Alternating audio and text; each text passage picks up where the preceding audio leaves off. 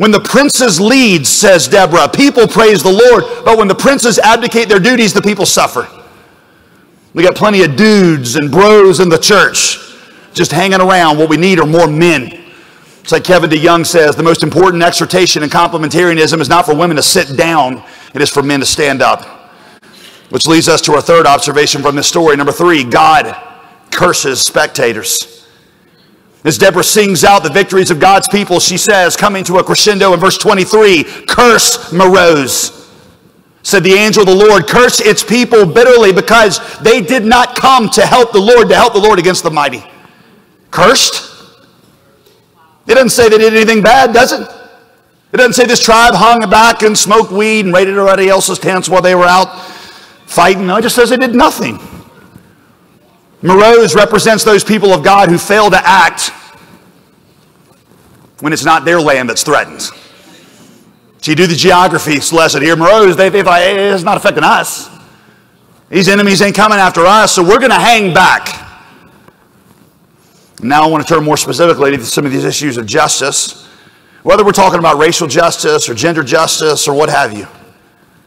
Tragically, when it comes to many issues of justice, there's often been a malaise in the church. Not using the kindest word possible. In large part because the injustice did not directly affect those of us sitting in places of privilege. Like Meroz, it didn't affect our tribe. At least we didn't think it affected our tribe. The church in the West in various generations has been slow, far too slow, to champion the dignity and equality of really anybody was outside of their circle. And some of us ask, we look back with genuine bewilderment, and we say, how could some of these great theologians, how could some of our ancestors have either gone along with slavery, someplace even defending it, at the very least, just not really seeming to care about it that much, how could a large majority of conservative Bible believing Christians have just sat on the sidelines during the civil rights? And for the most part, I think you've got to conclude that it just, they felt like it didn't directly affect them, at least in the short run, so they didn't think that much about it. Like Dan, they sat back by the ships when they ought to have been out in the fight. We have to be clear that Scripture says this not getting involved on behalf of others is a matter in God's eyes of justice bearing the burden of our brothers and sisters in God's kingdom, even when we think, especially when we think that what is happening doesn't directly affect us, is a matter of justice. Deuteronomy 10 18, Moses is describing the God that Israel should emulate. He says that God executes justice, a Hebrew word, mishpat, for the fatherless and the widow. He loves the sojourner, giving him food and clothing. You notice there how he defines justice? The word justice, mishpat, occurs over 200 different times in the Old Testament. And almost always when you see it, or a lot of times when you see it, you'll see four classes of people that are brought up, as in Deuteronomy 10 18. The widows, the orphans, the foreigners, and the poor. What one scholar calls the quartet of the vulnerable. The just person, according to the law, is the one involved helping those four groups and any others that are marginalized. The just person is not the one that's just paying their taxes is not the one that's just going along and not stealing from anybody. The just person in God's eyes is the one who is taking up the cause of the one who is not him or her. One scholar said it this way in the Old Testament justice is not just putting down the oppressor, it is also helping to lift up the oppressed. You see, with the blessing of privilege, of whatever kind you want to call it, comes a responsibility to leverage that privilege for the less fortunate. I take a moment to point this out because we tend to put helping the needy or the oppressed under the heading of charity.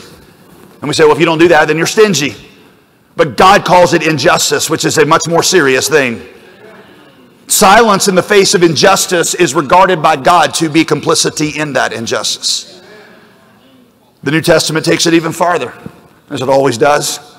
With Jesus, Galatians 6 2, carry one another's burdens in this way, you will fulfill the law of Christ. That means part of being one body in Christ is being committed to feeling and seeking to understand by listening the pain that others are going through.